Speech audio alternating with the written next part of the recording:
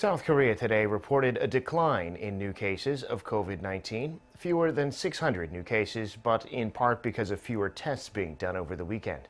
As for vaccinations, more than 7% of the population has now gotten at least one dose. The health authorities are urging senior citizens to sign up and get vaccinated, pointing out data that show the risks of the vaccine are so small they can't even be compared to the risks of the disease. Han Seong-woo has the details.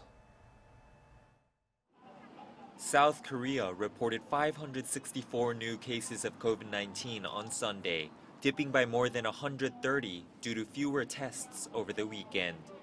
522 of Sunday's cases were transmitted locally, with close to 350 of them in Seoul and the surrounding area. These include cluster infections linked to a store selling mobile services and a social gathering in Gyeonggi-do province. There were also outbreaks at a bathhouse in Busan and a high school in Gyeongsangnam-do province. The city of Ulsan, accounting for 28 cases, is reportedly struggling to contain variant strains from abroad. The virus has claimed nine more lives, raising the death toll to 1,874.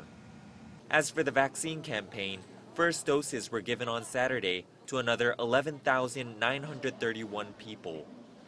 In total, close to 3.7 million people have now received their first dose. That's about 7.2% of the entire population. A little over 2 million people have gotten the AstraZeneca vaccine, and nearly 1.7 million the vaccine from Pfizer.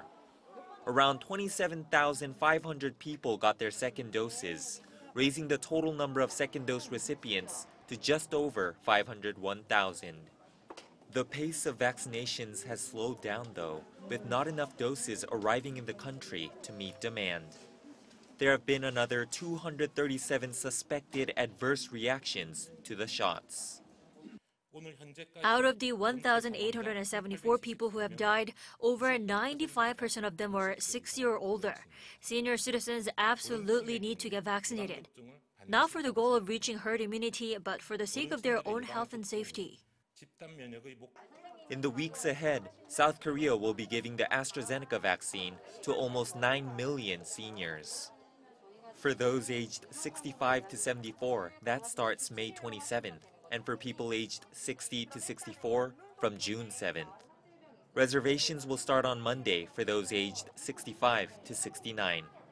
The government has also announced it will not extend the special period of intense inspections on public facilities beyond Sunday, considering the downward trend in infections. 한성우, 아리랑 뉴스.